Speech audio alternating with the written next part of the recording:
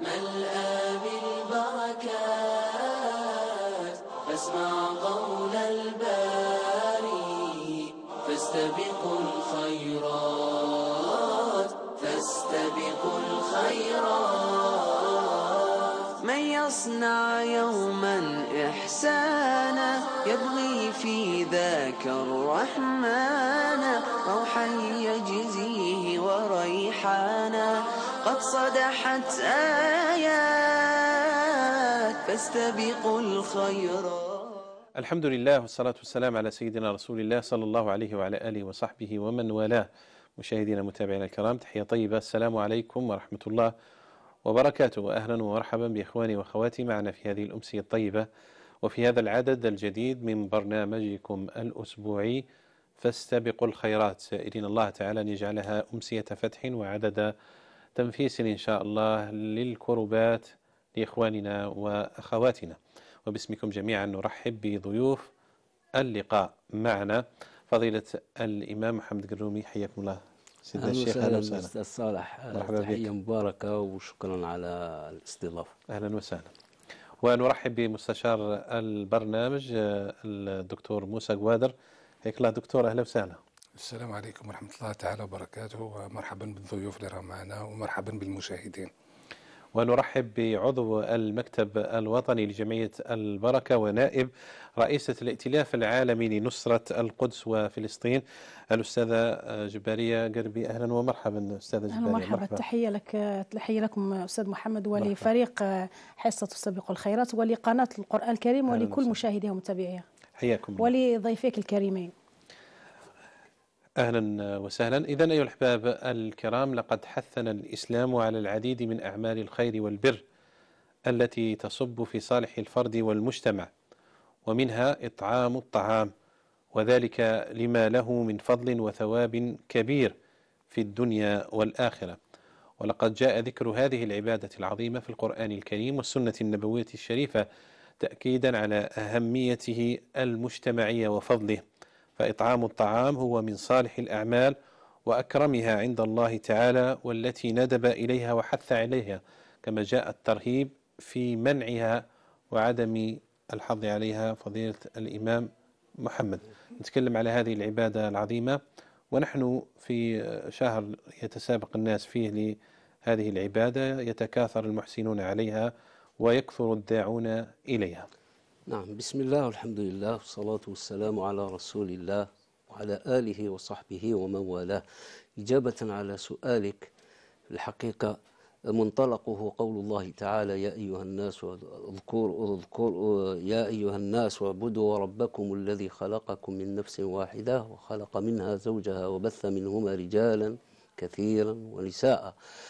وأيضا في قول الله تبارك وتعالى يا أيها الذين آمنوا اركعوا واسجدوا واعبدوا ربكم وافعلوا الخير لعلكم تفلحون بمعنى عبادة المسلم لا تقتصر على الصلاة والصيام والزكاة يعني أركان نعم. الإسلام وإنما تتعداه إلى فعل الخير ومن أعظم فعل الخير أن يتعدى الخير صاحبه أن يتعدى إلى الغير لأن أفعال الخير قد ينتفع بها الإنسان. تقوم الليل تنفع نفسك.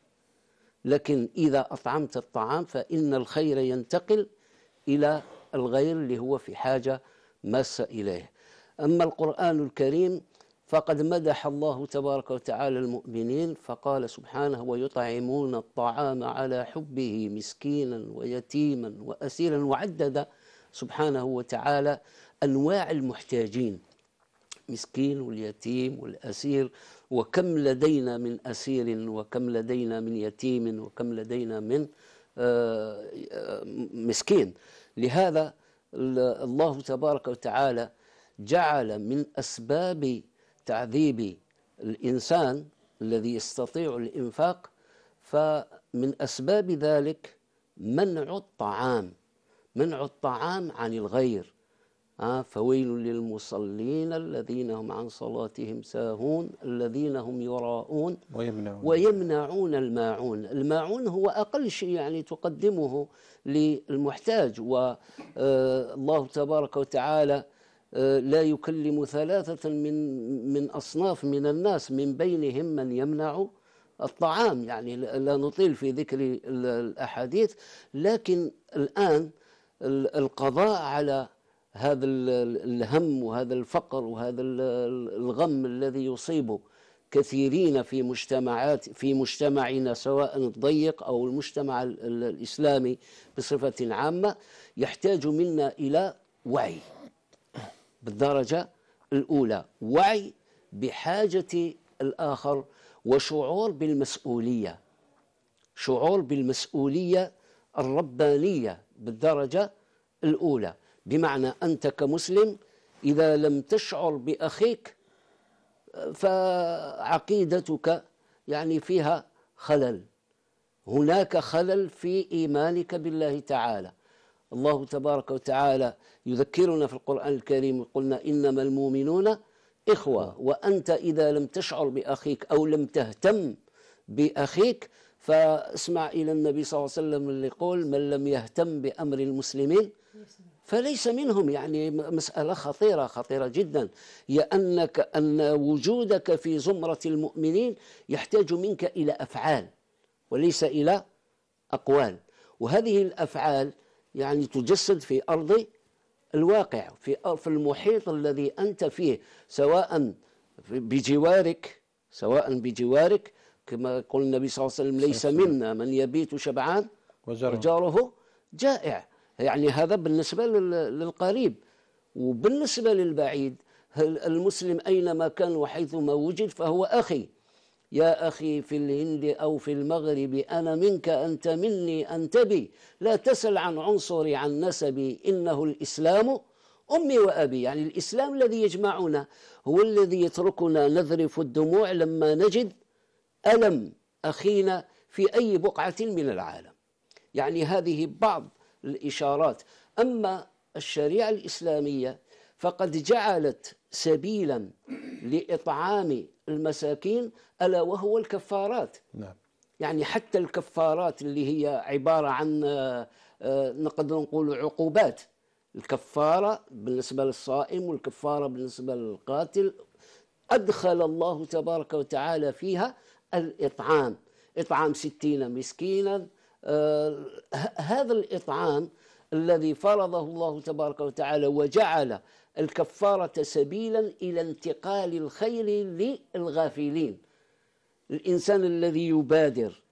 هذا عنده حب الله وحب رسول الله صلى الله عليه وسلم وحب المؤمنين هو الذي يدفعه إلى أن يكون خيرا وأن يكون معطاء.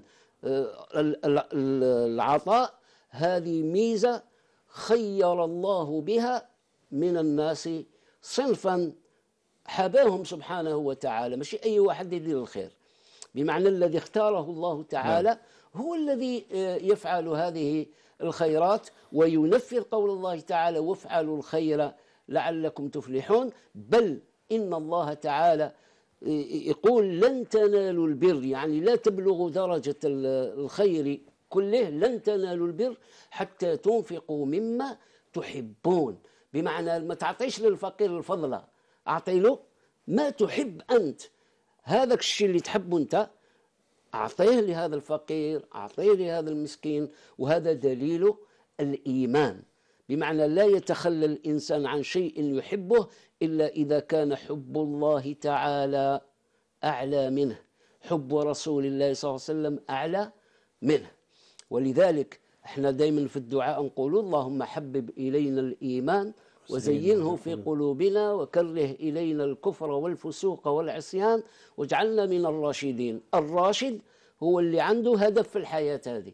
الراشد هو الذي يعلم أين يضع قدمه. ولذا قيل قدر لرجلك قبل الخطو موضعها. الإنسان الراشد مسطر حياته عارف الهدف نتاعو سواء على المستوى الفردي أو على مستوى الجماعة. بارك الله فيك شيخنا قرومي شكرا جزيلا لك. إذا في يومهم الثاني والعشرين بعد المئة من معركة طوفان الأقصى 22 يوما بعد المئة من العدوان الأثيم وأولياء الله وشعب غزة صامدون صابرون. وبرنامج فاستبقوا الخيرات رافق أيام العدوان هذه كلها مع جمعية البركة عبر حملة الوعد المفعول التي دعونا فيها إخواننا وأخواتنا للالتفاف حولها وحول هذا المشروع. اليوم معنا الأستاذة جبارية قربي عضو المكتب الوطني لتحدثنا إن شاء الله تبارك وتعالى عن حملة الوعد المفعول وهي تدخل يومها الثاني والعشرين بعد المئة. بسم الله الرحمن الرحيم. اللهم صل وسلم على مصطفى الأمين وعلى آله وصحبه أجمعين. تحية مرة أخرى طيبة لكم ولضيفيك الكريمين. في الحقيقة لما نتحدث عن حملة الوعد المفعول هذه الحملة الاستثنائية والخاصة جدا تجاه يعني أهل فلسطين عموما وخاصة يعني على وجه الخصوص أهلنا يعني في غزة. نعم. هذا الشعب المقهور المظهور يعني المظلوم لابد أن نذكر. لماذا انطلقت معركة طوفان الأقصى؟ التي جاءت لأجلها حملة الوعد المفعول. نعم. لأن الأقصى هو محور الصراع كما نفهم يجب أن نذكر في كل مرة لماذا انطلقت يعني معركة طوفان الأقصى. معركة طوفان الأقصى انطلقت لأن الأمة لم تتحرك. لما كان يستباح المسجد الأقصى المبارك لما كان الكيان الصهيوني يعيث فيه فسادا لما كان يقتل يسحب المقدسيات والمرابطات من ويسحلهن يقوم بسحلهن يعني ويعتقل ويبعد ويسحب الهويات هويات المقدسيين وسياسات التهويد فوق الأرض وتحت الأرض نعم. وكل ما هو إسلامي كان يسعى الكيان الصهيوني إلى تهويده. فجاءت معركة طوفان الأقصى لتوقف هذا العدوان الصهيوني المجرم وميليشيات المستوطنين على على المقدسيين على المقدسيين عموما.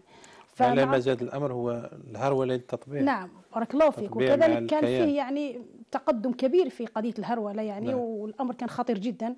فجاءت معركة طوفان الأقصى لتوقف هذه الهمجية همجية الكيان المجرم والتقدم اللي كان يعني كان رايحين فيه يعني تقدم كبير يعني الخطوه كبيرة كان رايحين فيه يعني دول أخرى نحو التطبيع اللي كان نعم. ممكن هذاك التطبيع كان يضر بالقضية الفلسطينية أو كان ممكن ينسف ينسفها تماما. فجاءت معركة طوفان الأقصى وأنقذت هذا الأمر. بالتالي يجب أن نذكر في كل مرة معركة طوفان الأقصى لماذا جاءت؟ جاءت لأجل الأقصى ليس لأجل, لأجل غزة. فواهم جدا من يعتقد أن المقاومة يعني الآن تقاتل وتقاوم وتجاهد وتصاب لأجل غزة بل لأجل فلسطين كله ولأجل الأقصى. هذا المقدس الإسلامي للأمة الإسلامية. ونحن يعني على مقربة يعني نعم. ثلاث أيام أربعة يعني من ذكرى. رحلة الإسراء والمعراج. وكان الفيصل فيها والمركزية فيها المكانية للأقصى المسجد الأقصى. نعم. فالله عز وجل يعني في, في, في الآية الأولى من من سورة الإسراء سبحان الذي أسرى بعبده إلى المسجد الأقصى إلى المسجد الحرام من المسجد الحرام إلى المسجد الأقصى. كان بطلها الحبيب صلى الله عليه وسلم وكانت المركزية فيها للأقصى. فبالتالي الله عز وجل وحتى الظروف الظروف قبل الإسراء والمعراج هي تقريبا تماما الظروف اللي تعيشها الأمة الإسلامية الآن. فالرسول صلى الله عليه وسلم لما آذوه قومه يعني وشعر بالحزن واليأس من من من الدعوة على أن الدعوة الدعوة الإسلامية لما كان يعني يقصد راح وين قاصد يعني الطائف وأذوه يعني وأحزنوه فاشتكى لربه نعم. هذا بثي حزني وهواني على الناس فرفع الله عز وجل مقاما عليا. من المسجد الحرام إلى المسجد الأقصى ثم عرج به إلى السماوات العلى فجبر خاطر خاطره و, و يعني وأكرمه وقربه إليه و وكانت تسلية نعم واطلعوا على على على على أسرار الغيب. فبالتالي ويقول الله عز وجل من خلال هذا أنا أنا الحاكم.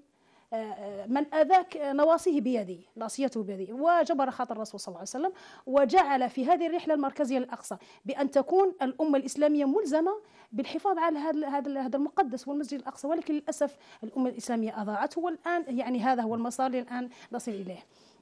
فكذلك الظروف ظروف الآن المقاومة كما كان الرسول صلى الله عليه وسلم التداعيات نعم نعم مقاومة واقفة لوحدها. العالم كله يعني محاصر هذه البقعة الصغيرة جدا. زوج ملايين 300 عبد يعني ومنطقة صغيرة جدا مكتظة بالسكان مكتظة بالناس المقهورين المظلومين الجوعى العطشة اللي ما عندوش يعني مأوى. فهذا الحصار هو نفسه تقريبا الحصار اللي كان على الرسول صلى الله عليه وسلم. هو تقريبا نفسه المؤامرة اللي كانت بين كفار قريش وكفار الطائف وين يعني تآمر على الرسول صلى الله عليه وسلم. نفس المؤامرة الآن تمشي. كل العالم يتآمر على على على المقاومة كل أصحاب الحق كل العالم يحاصر هذه البقعة. فلذلك انطلقت المقاومة انتظرت الأمة كثيرا ولكن لم لم تستجيب فانطلقت المقاومة اليوم 22 بعد المئة في هذا المسار. ونحن جمعية البركة العمل الخيري والإنساني من خلال هذا المشهد. نحن كذلك يعني في في في في في هذا المسار مسار التحرير. في هذا السياق سياق الأمة على أن تحافظ على مركزية مركزية القدس والأقصى ويجب ال- الذهاب بعيدا من أجل تحرير المسجد الأقصى وجمعية البركة بهذا البعد يعني انخرطت في هذه العملية عملية الإغاثة الإغاثة هذه ليست عملية فقط يعني من أجل الإطعام والإيواء ولكنها عملية انخراط كبير جدا في مسار تحرير المسجد الأقصى. من اليوم الأول 7 أكتوبر إلى اليوم آه، الآن الآن هم يجهزوا في الغد. واش يطعموا الناس. يوميا فيه آه، عمليات إغاثية على مستوى الأرض شمال غزة والوسطى ورفح. يوميا يوميا تقريبا أربع خمس فيديوهات يوصلوا للبركة من من من مكتب غزة. فيه يعني توزيع آه، وجبات ساخنة فيه توزيع طرود غذائية فيه توزيع آه، الماء فيه توزيع كفالات الأيتام فيه يعني بناء ولا يعني نصب بعض الخيم لل- للنازحين إلى مستوى الجنوب. فيه كذلك بعض العمليات الاستشفائية للمرضى. اليوم أستاذ محمد يعني خلال أيام يعني 300 نازح. نعم. توفى الله عز وجل رحمة الله عليهم. رحمهم من الله. خلال يعني ال- ال- ال- الظروف المأساوية الصحية لكبار السن. 300 واحد يعني جاء كما نقولوا يعني آه، نازح. فالظروف المأساوية شديدة الأجواء جدا تشهد وال- أجواء باردة جدا. البرد نعم. الحرب والبرد من جهة. ف 300 واحد يتوفى يتوفى الله عز وجل 17000 طفل فقد ذويه. 17000 يعني هذا 17000 طفل يحتاج إلى مأوى يحتاج إلى مأكل يحتاج إلى مشرب يحتاج ويحتاج ويحتاج والكيان الصهيوني يعني مز- ما زال مستمر في في في تغوله في في القصف القصف يعني م- قبل أسبوع يعني زاد زاد وتيرة القصف في في في ضغط ضغط على المقاومة حتى تستسلم في ضغط على هذه الحاضنة. وشهدنا يعني القصف أنه قل نوعا ما ولكنه مؤخرا تركز. نعم. وقل ولكن تركز في نقاط معينة تركز على البيوت اللي باقية. فالآن لما يقصف يقصف بيوت يجيب تقريبا في 24 ساعة 130 شهيد 140 شهيد 120 شهيد في 24 ساعة. يقصد يعني مربعات تدمير سكانية فينهي. مربعات ينهي سكانية. ينهي نعم ينهي كل من فيها حتى طيب. يعني يحاول أن يضغط كما قال الكيان الصهيوني نحن نضغط على المقاومه جهة بال بال بالعمليات العسكرية ونضغط على هذه الحاضنة بزيادة توجبيحها وتعطيشها حتى طيب من الأوراق اللي رمى بها المحتل أو قاتل من أجلها هي سياسة التهجير ولكن لم تنجح هذه السياسة وبقي الشعب الغزاوي صامدا مقاوما صحيح. منتظرا النصر. صحيح هو نعم. الكيان الصهيوني هذا هو يعني هذا هو ديدنه. هو خطة التهجير يعني تقريبا من خمسينيات القرن الماضي راهي نعم. محطوطة يعني طاولة. في كل مرة أي إدارة أمريكية تجي تح- تحركها يعني يعني آه، استجابة للابن المدلل ال- الكيان الصهيوني المجرم. فخطة التهجير ما زال أعتقد أنها ما زالت سارية المفعول وحد الآن لحد الآن يحاولوا بأي طريقة أنه يدفعوا هذا الشعب وهذه الحاضنة إلى الخروج الطوعي كما سموه هذا المصطلح الخر... التق... الت- التهجير الطوعي. أنه يوصل ال... الإنسان في غزة أنه وحده يكره ويخرج خلاص. يعني ما كان سبيل آخر غير أنني نهرب. فهم حابين أن هذه الحاضنة تصل إلى هذه النقطة ولكن هيهات هيهات أن يقف هذا الشعب أن هذا الشعب يعني أن يخرج من أرضه وأن يسلم الأمر لهذا الكيان الصهيوني. فتشوف أستاذ محمد أنه العديد العائلات فقدت كل شيء. نعم. كل شيء يعني فقدوا البيوت فقدوا الأهل فقدوا ذكرياتهم فقدوا يعني كل ما بنوه يعني منذ سنين. ولكن يقول لك هذا الأمر في ذا هذه المقاومة في ذا الأقصى ونحن ثابتين على أرضنا حتى ولو يبقى واحد فقط في غزة يقول لك لن نخرج ولن نستسلم ولن نغادر. فهذا الثبات الأسطوري وهذا الصمود الأسطوري هو الذي يقتل الكيان الصهيوني ويقتل حتى المتآمرين من الدول الدول الكبرى اللي اللي الآن راهي واقفة مع الكيان الصهيوني. وإن شاء الله بإذن الله عز وجل المفروض أن الأمة الإسلامية تقف تقف تقف وتنهض من جديد وتتفاعل من جديد من أجل شد عضد هذا هذه الحاضنة. هذه الحاضنة اللي هي راه تثبت المقاومة بالمناسبة. كل ما ثبت المقاومة الحاضنة الحاضنة بدورها تثبت المقاومة. فبالتالي الكيان الصهيوني يراهن على العملية العسكرية ويراهن على زيادة التجويع ولكن ما زالت إن شاء الله بإذن الله هذه الحاضنة ثابتة بإذن الله.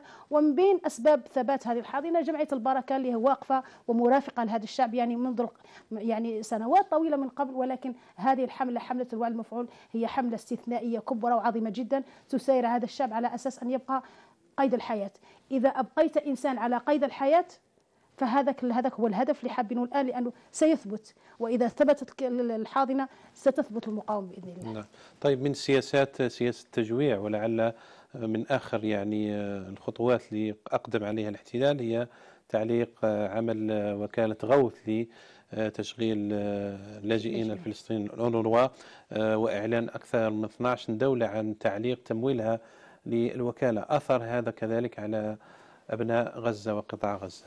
صحيح هي الأونروا هي يعني آه، اختلقوها هو المفروض يعني يعود اللاجئين هو, هو المفروض يعني يعود اللاجئون إلى أرضهم وإلى بلداتهم وإلى قراهم سواء من الداخل أو من الخارج حتى تنتهي مهمة هذه الأونروا هذه الهيئة. بالتالي الآن يعني إلى يعني مهمتها الوحيدة مهمتها يعني الأصلية هي تشغيل اللاجئين وتعليمهم وإطعامهم وكذا. تقريبا 80% من سكان غزة يعني يخضعون لهذا نعم. يعني الخدمات هذه هذه الهيئة ولكن الكيان الصهيوني هو في كما قلت يعني يسعى بكل الطرق إلى إلى إلى, إلى تجويع هذا الشعب وإلى آه هذه الحاضنة أن تسلم ولما لما 12 دولة يعني سحبت تمويلها للأونروا هذه والآن يعني في نقص شديد يعني في نقص شديد وحتى الأونروا صرحت قالت يعني سينتهي كل شيء سينتهي وجود نعم. الأونروا ابتداء يعني في شهر في الشهر القادم 2 نعم. شهر فبراير يعني آه، إذا كان تمويل انقص أو انعدم فمهمه تنتهي وكان قبل ذلك يعني ترامب اللي لاحظ يعني سياسة ترامب لما كان 2017 2018 كان نقص كان نقص من تمويل بداية نعم. تمويل أونروا وكان أضر كثيرا بالشعب الفلسطيني وخاصة في غزة الآن هذا الكيان الصهيوني لما يعني لما اتهم يعني بعض موظفي الأونروا وقال أنها شاركت في 7 أكتوبر يعني 7 و8 نعم. ولم يقدم السبب لم يقدم حتى دليل. لم يقدم حتى دليل. يعني حتى المجتمع الدولي قال لم يقدم حتى دليل ولكن ماشي في غطرسته ماشي في سياسته مع مع مع الداعمين الكبار إليه يعني أمريكا وبريطانيا وألمانيا وفرنسا وغيرها من الداعمين إليه. ولحد الآن يعني 12 دولة لما أعلنت فتأكد أنه راح يلاقي راح يلاقي يعني أهلنا وأحبابنا وإخواننا في غزة يعني أشد مما يلاقونه الآن أشد المأساة ستتضاعف ولكن للأسف الشديد يعني إحنا نشوف يعني المفروض يعني أمة إسلامية أغنى أمة إسلامية يعني أغنى الأمم هي الأمة الإسلامية ويعني مليار و700 مليون آه، مسلم و400 ولا 300 نعم. مليون عربي و4 مليون جندي من الجيوش العربية ولكن ليس ما كاش اللي يحرك يعني كل الناس يعني تشوف وتتفرج المتخاذل متخاذل المتآمر متآمر والصامت صامت والمتفرج متفرج ولكن المقاومة كما يقول كما قال الرسول صلى الله عليه وسلم أبث حزني إلى الله عز وجل مشتكى إليه. المقاومه تقولها الآن. المقاومه تقول لك إحنا عندنا الله عز وجل من ينطلق بالقتال؟ ينطلق آه اللهم سدد سدد الرمي بسم الله يعني كل هذه الأمور. والمقاومه والحاضنة كيف كيف؟ يعني ال ال ال الكيان الرسول صلى الله عليه وسلم لما خذله أهله يعني وتآمروا عليه وربي سبحانه ورفعه. وكذلك الآن الحاضنة هذه الحاضنة تقول لك أنا عندي ربي سبحانه وحده. فالكل خذل العالم كله خذل هذه هذا الشعب كله تآمر حصار مطبق شديد جدا بل شددوا الحصار. ولكن اسال الله عز وجل أن تستفيق هذه الأمة. ونحن في الأيام في الأشهر الفضيلة هذه شهر شهر رجب نهايته وشهر شعبان وشهر رمضان القلوب فيها تلين والرحمات تزيد. نسأل الله عز وجل أن يرحم هذه الأمة حتى يعني تتكاتف كما قال شيخنا أنه ندخل في زمرة المؤمن. والذي يدخل في زمرة المؤمن يجب أن ينخرط فيه يتفاعل ويفعل. فتفعيل الأمم من جديد بأفرادها حتى ندخل في هذه الزمرة زمرة المؤمنين. وأسأل الله عز وجل أن ينزل, ينزل هذا النصر بتكاثف الأمة الإسلامية وعودتها إلى الأصل تحرير المسجد الأقصى الذي هو محور الصراع الآن. إن شاء الله. طيب حملة الوعد المفعول يعني وخلال الأشهر القادمة هناك حديث يعني إعلامي يعني هدنة متوقعة هناك كلام كثير حولها. حملة الوعد المفعول وجمعية البركة خاصة ونحن مقبلون على شهر رمضان سيكون شهر يعني آه، صعب على صحيح. إخواننا في غزة حتى وإن توقفت الحرب آه، لأن الظروف مأساوية جدا صحيح. جدا جدا صحيح. نعم. شو أستاذ محمد إحنا نشتغل سواء يعني كانت هدنة أو لم تكن هدنة نعم. توقفت الحرب أم لم تتوقف يعني جمعية البركة مسارها طويل جدا وهي الآن تشتغل يعني بصعوبة جدا مقومات الحياة يعني ناقصة جدا يعني الإمكانيات ناقصة جدا. نعم. وأنا جاية البلاطو يعني كان بعث لي أحد يعني سكان غزة ربي يجازيهم ربي إن شاء الله يرفع عنهم هذا هذا هذا الأسى وهذا الظلم. قال لي أنا أتمنى من الإعلام الجزائري أن يسلط الأضواء أكثر والأنظار أكثر على الشمال. الشمال فيه مجاعة حقيقية جدا. وإحنا جمعية البركة تشتغل في الشمال برئاسة برئاسة يعني الاخ شادي ربي يجازيه خير رئيس المكتب في في بركه في غزة. وتشتغل كذلك في الوسطى وتشتغل في كذلك في في, في الجنوب في معرب في في رفح. فقال هذا الإنسان قال يعني وهو من المكان هو يسكن في الشمال نعم. قال لي مجاعه حقيقية جدا أسأل الله عز وجل أن الإعلام الجزائري يسلط الأضواء ويقفون معنا في هذا الشهر. فجمعية البركة كما قلت لك يعني سواء كانت الهدنة أو لم تكن يعني واقفة دائما يعني ويومياتها كلها إغاثة كما ذكرت لك يعني كل ما من شأنه أن يبقي الإنسان في غزة حي جمعية البركة يعني تبذل الجهد على على أساس ان أن تحقق هذا الهدف وحتى وإن توقف الحرب فأعتقد أن جمعية البركة مؤهلة جدا نعم. وصاحبة خبرات كبيرة على أن تنقل المساعدات إلى كل القطاع لأنه الذي يشتغل في الأرض هم أولاد أولاد فلسطين كما يقولوا أولاد غزة ويعرفون غزة كلها شبرا شبرا يدخلون إلى الأبواب كل البيوت كانوا يدخلوا لها من قبل. فجمعية البركة مؤهلة حتى بعد الحرب أن يعني تنقل المساعدات تدير مساعدات تنظمها ترتبها ثم توزعها وتوصلها إلى مستحقها كل التوفيق لكم إن شاء الله إخوانكم بجمعية البركة وكذلك بقطاع غزة شكراً. بالمكتب المتواجد هناك شهر رمضان واستاذ على وبذا إن كان. ممكن إحنا وصلتنا مناشدة اليوم يعني من مكتبنا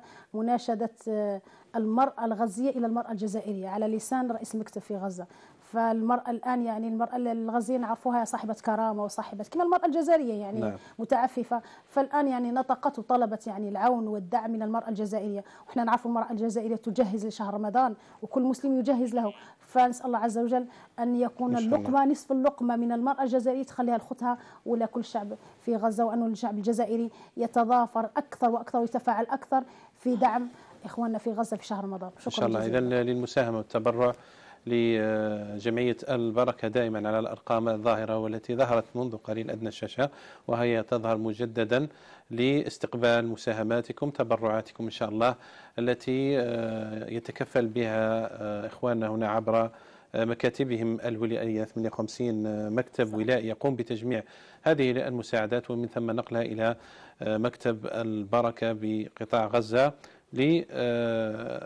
كما ذكرت السيدة جبارية آه، تقديم العون المساعدة الإطعام وغيرها من الأشياء التي يحتاج إليها إخواننا أبناء القطاع. شكرا لك مرة أخرى. شكرا بارك الله فيك. جزاك الله كل خير. إذا أدعو إخواني إلى آه، متابعة ركن من الناس. نتابع وإياكم هذه الحالة مع الزميلة فايزة العارف.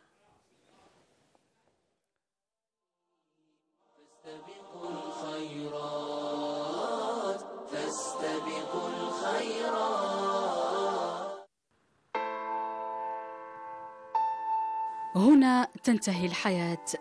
عائلة تعيش تحت عتبة الفقر. خالتي ميمونة أرملة تعيش رفقة ابنتيها في هذا البيت المهترئ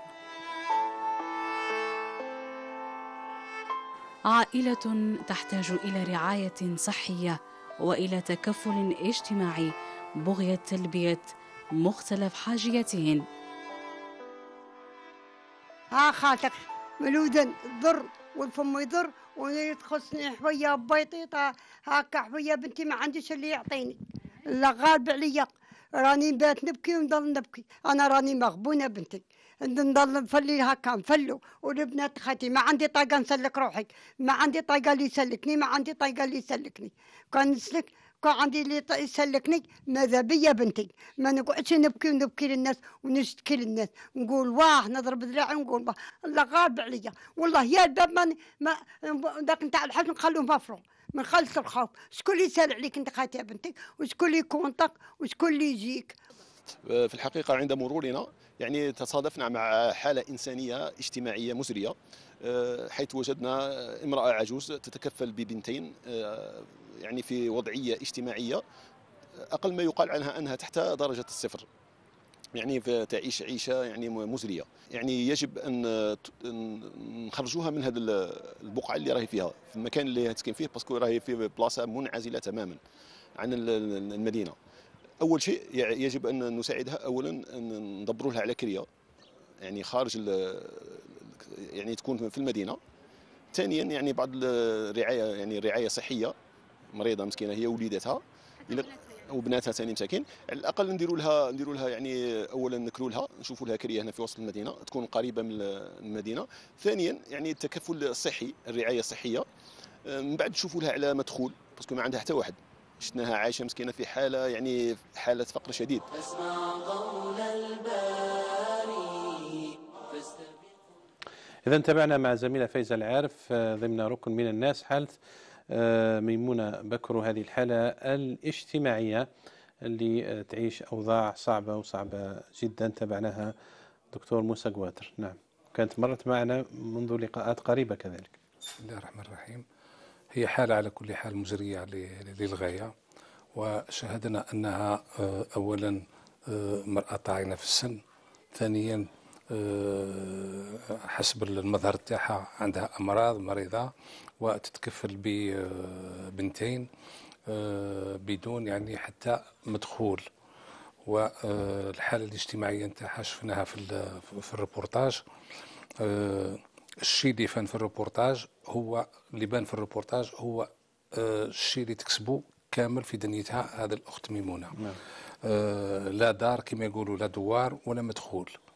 ولهذا يعني آه، أنا نظن باللي آه، قضيه يعني حساسه بزاف ولازم نلتفوا لو امور الاخت هذه اولا آه، ربما يساعدوها على باش يكريوا لها في آه، في المدينة يعني تكون قريبه نعم ل- ل- ل- المستشفيات قريبه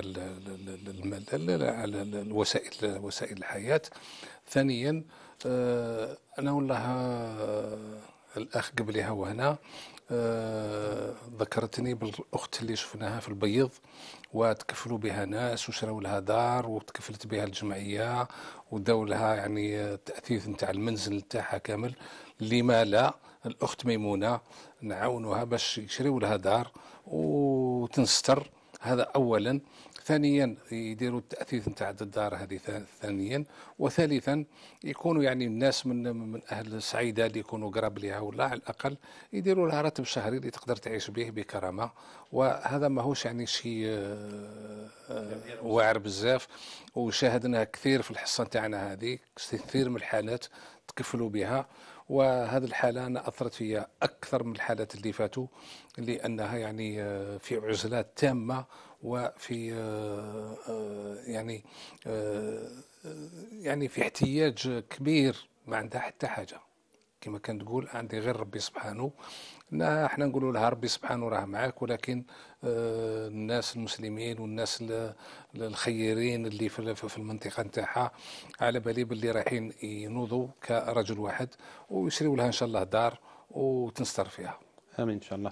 رحب بضيوف البرنامج معنا الدكتور علي شعواطي رئيس جمعية كافل اليتيم الوطنية. مرحبا بك دكتور علي. أهلا بك وسهلا. خوي محمد ومشكورين على الدعوة بارك الله فيك. شكرا جزيلا. ونرحب بالأستاذ محمد قبلي رئيس جمعية آه، دار السلام للأيتام آه، لرعاية الأيتام ببلدية عين طاية أهلا وسهلا بك. السلام عليكم وتحية لكل آه، مشاهدي قناة القرآن الكريم. نقول لهم بارك الله فيكم ومتشرفين بكم وأهلا وسهلا. بكم. طيب من الحملات التي يطلقها البرنامج والتي ستكون إن شاء الله مع جمعية كافل اليتيم الوطنية ومع جمعية دار السلام لرعاية الأيتام بعين طايح حملة قفة رمضان والتي سنتعرف إن شاء الله آه، في لقائنا هذا. معكم دكتور علي على التحضيرات لهذه الحملة حملة آه، قفة رمضان. يعني من الحملات المميزة عندكم بالجمعية هي آه، قفة رمضان. كيف هو التحضير لهذا الموسم الجديد؟ آه، ما هي الأعداد المعلنة يعني اللي إن شاء الله توصلوا لها والمناطق التي ستغطونها إن شاء الله بصفتكم آه، رئيس جمعية كاف اليتيم الوطنية؟ مرة أخرى يعني أشكركم أخي محمد على الدعوة وإعطائنا هذه الفرصة لنتحدث عن هذا الموضوع موضوع التكافل والتضامن.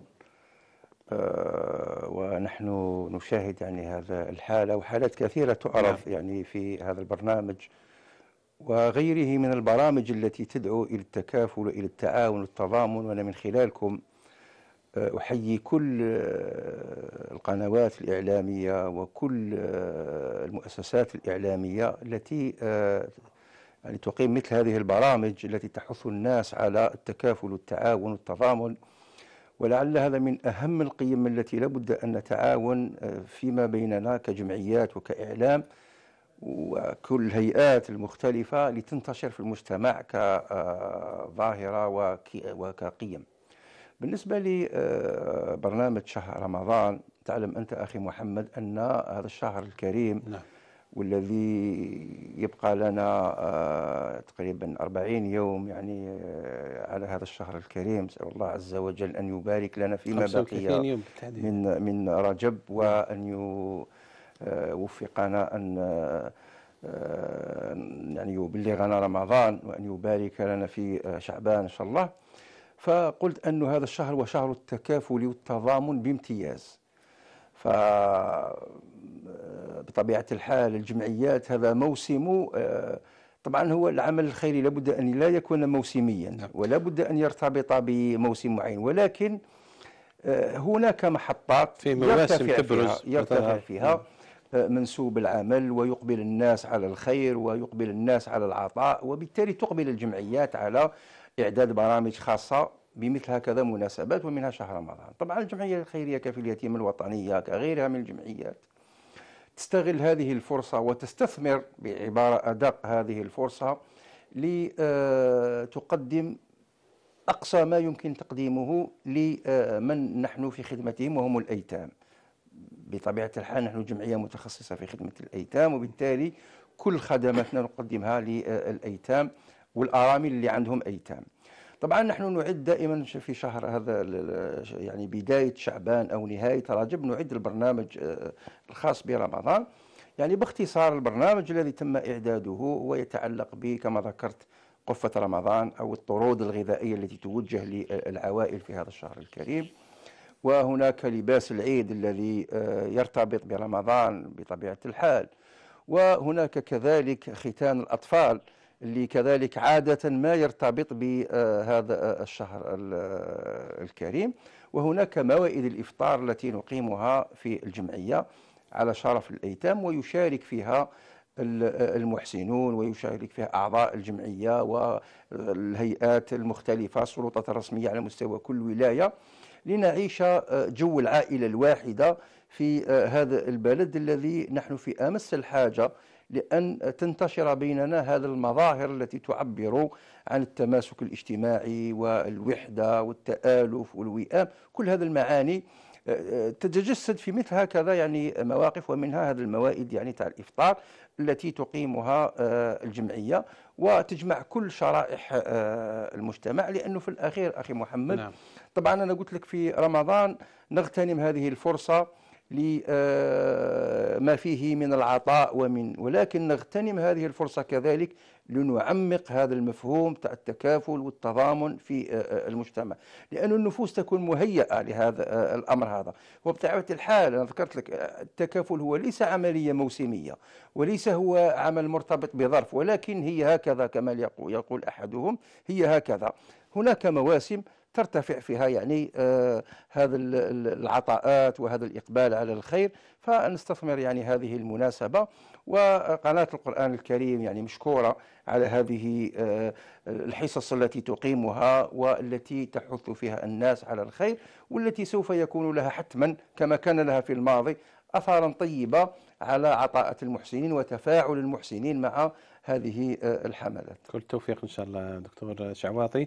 آه، أستاذ محمد قبلي كذلك آه، أنتم قائمون على هذا المشروع يعني من سنوات طويلة قفة رمضان وعبر محطات كثيرة في تراب الجمهورية.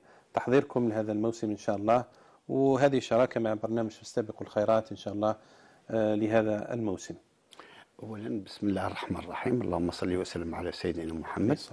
آه، إحنا كجمعية دار السلام لرعاية الأيتام آه، جمعية محلية تنشط آه، على مستوى بلدية عين طاية وما جاورها هذه الجمعية جمعية فاتية يعني ما عندهاش مدة كبيرة وهي اللي تخدم ولكن النشاطات تاعنا الحمد لله راها واقفة. نذكر برك بالنشاطات تاعنا. إحنا من جملة النشاطات اللي رانا قايمين بها لحد الآن هي الوقف آه، هي مع جمعية البركة لإعانة اخو الإخوة في غزة. نعم. يعني ورانا درنا قطعنا نشاط كبير مع الإخوة في جمعية البركة ورانا ننشطوا معهم يعني والحمد لله هذا كبرنامج تاعنا اللي لأن عندنا مدة وحنا ننشطوا فيه. كذلك عندنا برنامج نذكر الإخوة لأن إحنا كنا مع آه، القناة وفي هذه الحصات آه، في استبقوا خيرات. كنا دايرين حفر الآبار. نذكر الإخوة نقول لهم بأن الجمعية لحد الآن رانا وصلنا 34 بير اليوم كملنا في عملية حفر بئر رقم 34 بعمق 87 متر في بلدية آه، زاوية كونتا. لذلك نقول أي إنسان يحب يدير صدقة جارية إحنا مازلنا متواجدين ومازلنا في عملية حفر الآبار. هنا نذكر بركيت برقم الهاتف تاع الجمعية. أه ممكن لأن عندي مدة ما جزتش راهم الناس نساوه. هو 05 51 90 04 32 05 51 90 04 32 آه هذا البرنامج يعني اللي رانا دائبين عليه دأب آه كبير وناشطين عليه. عاد درك نتكلموا على البرنامج آه رمضان. آه إن شاء الله ربي يوفقنا البرنامج تاعنا. عندنا البرنامج على مستوى بلدية آه مكتب عين طايا فقط نتكلم عليه. يعني نتكلم على مستوى مكتب عين طايا وش راح نديروا عندنا مشروع 1500 قفة اللي راح إن شاء الله تكون نحضروها في من الآن بدينا في العملية إلى غاية 20 آه، من رمضان. نكونوا انتهينا إن شاء الله منها. هو 1500 قفة كذلك آه، عندنا مشروع كسوة 1200 يتيم على مستوى مكتب عين طاية كذلك عندنا إفطار آه، الإفطارات اللي راح نديروا 10000 وجبة إفطار للأيتام بلدية عين طاية وبلدية سليم ولاية المسيلة وكذلك بلدية زدين في ولاية عين دفلة يعني هذو راح نكونوا إحنا قايمين عليهم. آه كذلك عندنا برنامج آه الختان. وهو اللي راح نختنوا الأطفال. ونقولوا من هذا الباب الناس اللي يحب يبدأ في التسجيلات يتصل بنا. ونزيد نعاودوا نذكروا برقم الهاتف. حتى الناس تقدر تتواصل معنا. هو 05 51 90 04 32 05 51 90 04 32 يعني ونشكروا القناة اللي أتاحت لنا مرة ثانية الفرصة باش آه، نذكروا خاوتنا باش يقدروا لعلهم يساعدونا ويمدوا لنا اليد. كذلك نشكروا الأخت اللي من فرنسا اللي يعني ساعدتنا على هذاك الأرملة نتاع اللي وريتوها دركيت فقط. ميمونة. ميمونة نعم, نعم.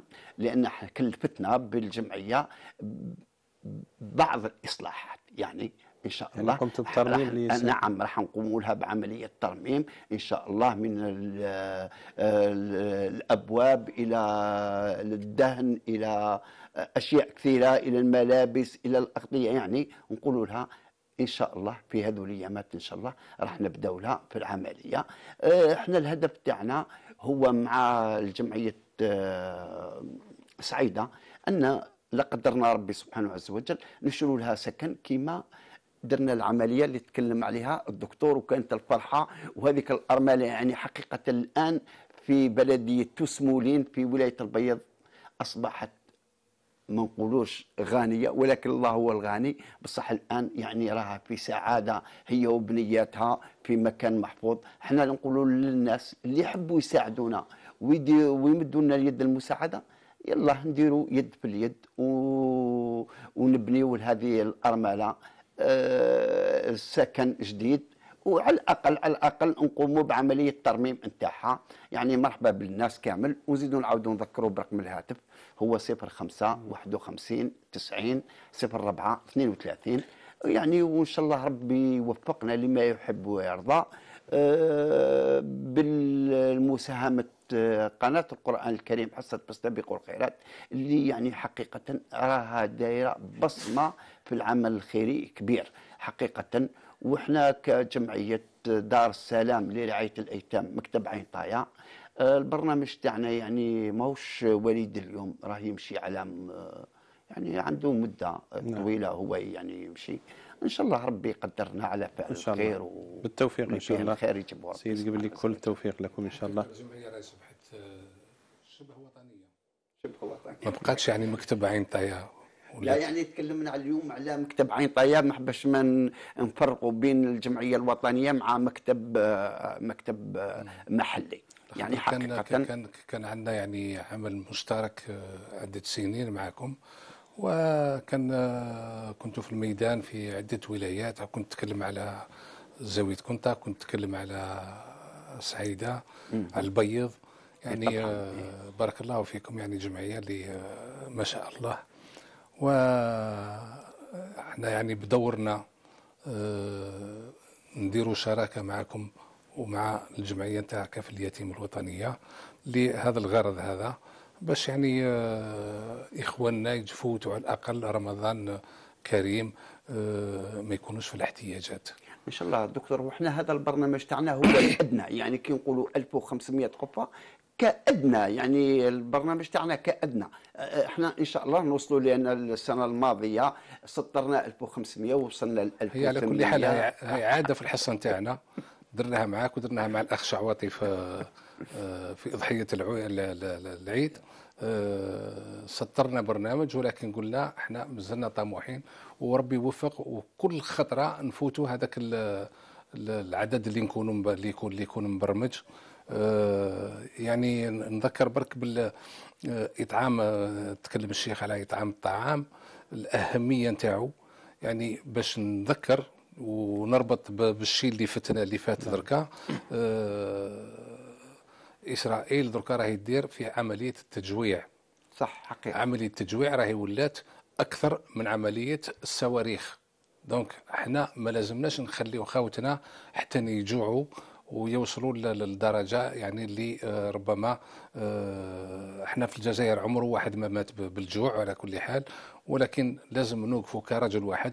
باش هذا الأيتام هذو ما يحسوش برواحهم يعني آه، منعزلين ولا آه، مركب نقص ولا يعقبوا رمضان كما يعقبوه الناس كامل. ولهذا يعني كل الجمعيات الجمعيات الحاضرة راه مشكورة باش تشارك معنا إن شاء الله. وحنا نقول لك حاجة دكتور يعني حقيقة اسمحوا لي. الجمعية تاعنا يعني منذ البداية بدينا في عملية الجمع ونقول لكم رانا لحقنا المليار و100 مليون اللي قدرنا في مكتب عين طايه جمعناها والحمد لله يا ربي. الحمد لله. كل التوفيق إن شاء الله. آه، يخبرني الزملاء الأخت سليمة من فرنسا تقدمت ب 1000 أورو آه، تمنحها لعائلة ميمونة بكرو من ولاية سعيده 1000 أورو إن شاء الله ربي يتقبل منها إن دائما الله. إخواننا المحسنين والمحسنات بعد يعني عطائهم يرجون دعوة الخير ويرجون آه، الدعاء المبارك أن يبارك لهذه الأخت هذه آمين إن شاء الله. ويبارك في المحسنين وفي القائمين آمين يا رب وطبعا عندي إشارة فقط للتنبيه حتى لا نغفل آه، شيخ. حتى لا نغفل جهد ال- القائمين في المساجد المساجد أيضا تسعى لأن تعين نعم. وتتعاون مع الجمعيات سواء المحلية أو ال- الوطنية وإن شاء الله ال- ال- أهل الخير في ال- الخير في الأمة هذا لا ينتهي لأن هناك هناك التفاتة فقط لا بد أن أشير إليها وهي أن ال- الذي يسأل عن القفة المفروض هذا إحنا نحوش عليه نحن نبحث عنه ولا نتركه هو الذي يمد يده. هذه واحدة. الأمر الثاني أن ال- الإدارة ونقصد بالإدارة يعني وزارة الشؤون الدينية آه، واللي رانا نتعاملوا معها فهي أيضا تسعى من خلال الزكاة أن تبحث عن المحتاجين غير الحاصلين على قفة رمضان. هذه من من أحد الشروط يعني اللي لازم نعم. تتوفر في من يأخذ آه، قيمة من الزكاة. وهذا يقوم به المحسنون داخل المساجد. بمعنى هناك جمع للأموال بالنس- اللي تكون زكاة ولما لا نحيي الزكاة في شهر رمضان. نعم. يعني الزكاة راهي تدور على العام كامل. وإخواننا في في المشرق يعني يقبلون على زكواتهم في شهر رمضان في شهر رمضان إحنا عندنا العادة في في في عاشوراء نعم. ها لكن إن شاء الله لا ربي حتى في رمضان في إقبال كبير من فيه المزكين. إقبال كبير فيه نعم. إقبال كبير ومن خلال التجربه نتاعنا في المساجد يعني كاين الناس المحسنين وحتى البسطاء يقول لك أنا ما نقدرش ما ندفعش الزكاة لكن نساهم في إطعام طبعا. ال- الناس في شهر رمضان ونسال الله يوفق الله الجميع القبول إذا آه، حملة قفة رمضان آه، يطلقها برنامج فاستبقوا الخيرات بالتنسيق مع جمعية كافل اليتيم الوطنية وجمعية دار السلام لرعاية الأيتام بعين طاية.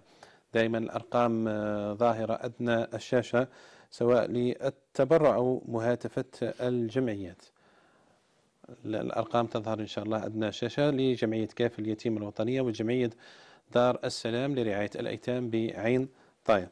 دكتور آه، شعواطي خريطتكم لقفة رمضان إن شاء الله على المستوى آه، الوطني على عبر تراب الجمهورية هو طبعا قبل أن نتحدث عن ما نعم. سميته أنت خارطة آه، القفة نعم. تاع رمضان لابد أن أشير إلى ما تفضل به شيخنا آه، الفاضل في قضية المحسنين الذين يقبلون على تقديم مثلا الزكاة في وقت معين ومنها شهر رمضان كما ذكرت أنت أنه حتى الآن أصبح الناس يقبلون على تقديم يعني الزكاة في شهر رمضان. لما بعضهم من يقدمها يعني بركة. نعم. قدمها عن موعدها. نعم مية. يتحرى رمضان بعض الناس. وأجاز ال- العلماء ذلك. نعم للحاجة نعم. لا- لا- لابد أن نشير هنا إلى. أنه آه، هذا الخير الذي آه، يعم في رمضان هو لا يأتي من أصحاب الأموال فقط وأصحاب يعني الأعمال والتجارة ولكن يأتي من عموم الناس. يعني كل الناس تقبل على هذا الخير ولهذا من خلالكم أنا أدعو يعني كل آه، أهل البر والإحسان بكل شرائح المجتمع. وأنا دائما أقول أنه لا نستقل القليل. فالحرمان أقل من القليل. يعني الحرمان الذي يعيشه الإنسان هو أقل من القليل الذي يقدم. وبالتالي لا يقولن أحدنا أن ما أقدمه قليل ورب دينار سبق ألف دينار. بالتالي لازم إحنا نحيي هذا هذا القيمة تاع التضامن وحتى أبنائنا لازم نعلموهم هذا القيمة. بحيث أنه لابد أن لا يكون التضامن فرديا. لازم يكون جماعي. بمعنى أنا في العائلة نتاعي مثلا لازم الأسرة تاعي الزوجة أولادي نكونوا دايرين برنامج لهذا التضامن هذا التكافل. بمعنى لا أتصدق أنا لوحدي هكذا دون علم الأسرة تاعي ولا. مليح نعلموا أولادنا هذا القيمة ولازم تنتشر. حتى في المدارس نتاعنا. أذكر شيخنا مثلا المساجد. السادة الأئمة عندهم دور كبير جدا في إشاعة هذه الثقافة التكافل والتعاون والتضامن خاصة في هذا الشهر الفضيل شهر رمضان. بالتالي أنا من خلالكم أدعو كل الناس يعني كل واحد لازم يكون عنده دور في العطاء وفي إشاعة هذه القيمة قيمة التكافل بما يملك. والإعلام أنتم لكم دور كبير في هذا القضية. آه، مثل هذا البرنامج يشاهده الملايين من البشر فيكون له يعني أثر كبير جدا. إن شاء الله. بالنسبة للخريطة آه، هو أنت تعلم أن كفل اليتيم الآن متواجدة على مستوى كل يعني تراب الجمهورية يعني تقريبا كل ولاية حوالي 55 ولاية. طبعا بعض الولايات الجديدة المنتدبة وكذا ما زال ما عندنا فيها مكاتب فيها مكاتب يعني بلدية و- ودوائر آه، ب- متواجدين قلت لك في حوالي 55 يعني ولاية. فكل هذه الولايات راح نقدموا فيها يعني هذه الطرود الغذائية والألبسة العيد إلى آخره. طبعا إحنا المستهدف راح يكون في حدود 120 ألف قفة يعني على المستوى يعني ال- ال- ال- الوطني. طبعا قد يبدو كما ذكر الدكتور في البداية أنه هذا الرقم رقم ضخم ولا مو- ما هو ضخم يعني هذا الرقم بالمقارنة إلى ما هو متعارف عند الشعب الجزائري. كل المناسبات كل ال- ال- ال- المحطات. أثبت الشعب الجزائري فيها عطاءه الغير محدود. وبالتالي إحنا آه، يعني هذا الأمر هذا آه، سوف نحققه. ومثل هذا البرنامج يساعد على آه، أنه هذه الأرقام يعني نحققها بكل يعني أريحية. هذا بتوفيق الله عز وجل أولا. ثم بهذا العطاء الغير آه، محدود من آه، الجزائريين والذي كان آه، لنا معه محطات. والشعب الجزائري وفي وملتزم مع هؤلاء المحتاجين. وأنا دائما أقول أن المحتاج هو الذي يقدم وليس الذي يعطي. حقيقة في العمق. الذي يقدمه المحتاج. لأن أنت إذا قدمت مساعدة لإنسان فالخدمة في الأصل آه، أنت الذي تستفيد منها. النبي صلى الله عليه وسلم عندما يتحدث مع فاطمة ويقول كلها ذهبت إلا الكتف. نعم. بمعنى ما يدخره الإنسان هو الذي ذهب أما الذي يبقى هو الذي تصدق به. وبالتالي كل ما نقدمه وكل ما يقدمه أهل الخير فهو يقدمه آه، لنفسه وهو المستفيد الأول. ومن هنا أقول أن آه، هذه فرصة ورمضان هو رمضان فرصة الخير فرصة العطاء فننتهز آه، هذه الفرصة ونتعاون أن نحث بعضنا البعض على الإقبال على مثل هذه الطاعات. وذكروا للأساتذة الأفاضل شيخنا والدكتور قضية هذا الموضوع موضوع إطعام الطعام الذي هو من أهم وأعظم القربات إلى الله عز وجل ويطعمون الطعام على حبه مسكينا ويتيما وأسيرا إلا إنما نطعمكم لوجه الله فالمبتغى هذه هو قيلت وجه في الله صفة الأبرار وجل إن الأبرار يشربون من كأس.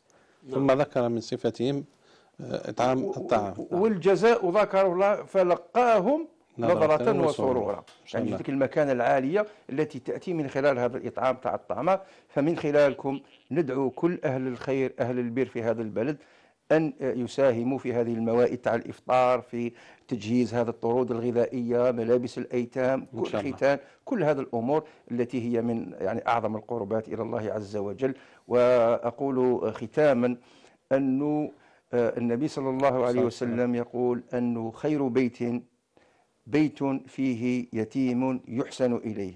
نقيس على هذا وخير بلد بلد فيها يحسن فيها إلى الأيتام.